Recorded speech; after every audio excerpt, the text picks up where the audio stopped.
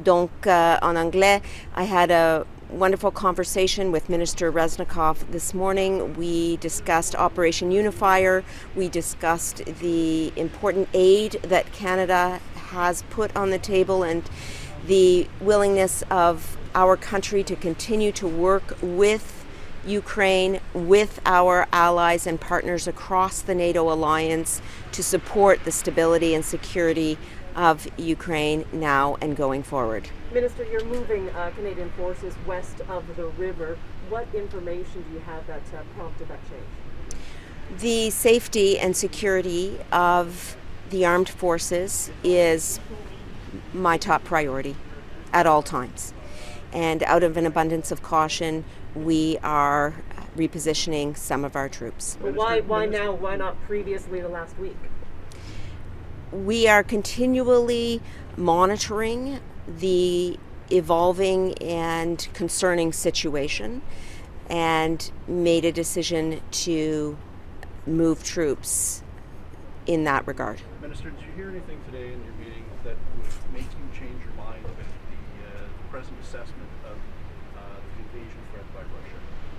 The meeting this morning was primarily about the aid that Canada put on the table last Wednesday and that we will continue to execute on. For example, I discussed the arrival of the aid, I discussed the expansion of Unifier, we discussed how important Unifier has been on the ground to the training of Ukrainian troops, including the National Guard.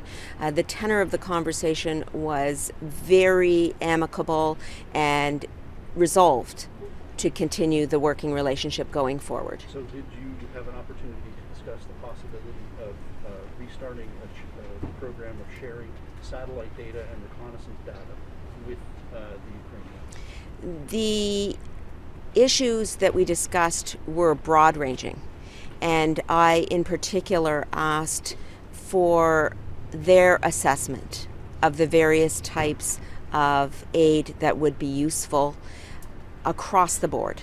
We discussed uh, cybersecurity in particular and how important it is uh, to make sure that cyber networks are secure. So, did you discuss lethal weapons in the meeting today?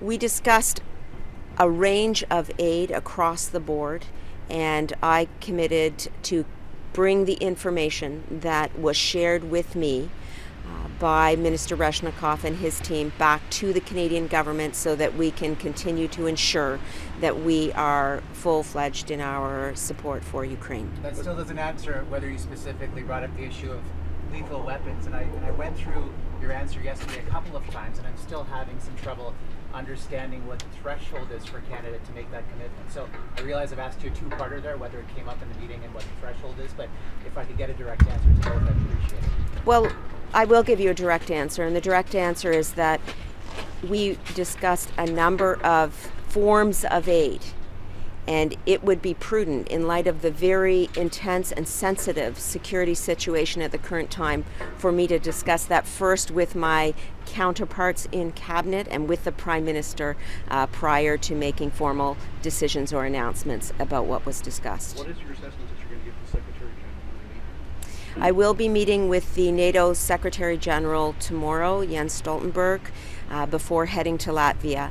And we will discuss a range of items, including how the NATO alliance can continue to be supportive of a strong and stable Ukraine. Mer- merci beaucoup tout le monde.